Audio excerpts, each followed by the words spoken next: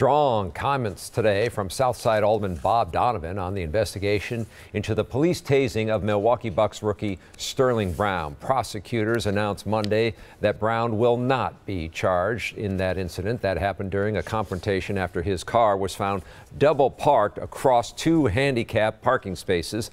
Donovan today accusing Mayor Tom Barrett of, quote, disturbing involvement in the investigation.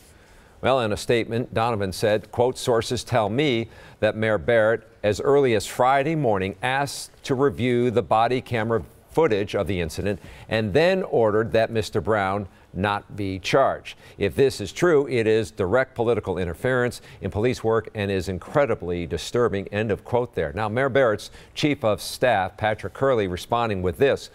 Alderman Donovan's claims are absolutely false. Mayor Barrett was informed of the arrest on Friday morning and was later briefed by the police department. He has never seen the video. He absolutely did not pressure any of the police department in this case or in any case in the time he has been mayor.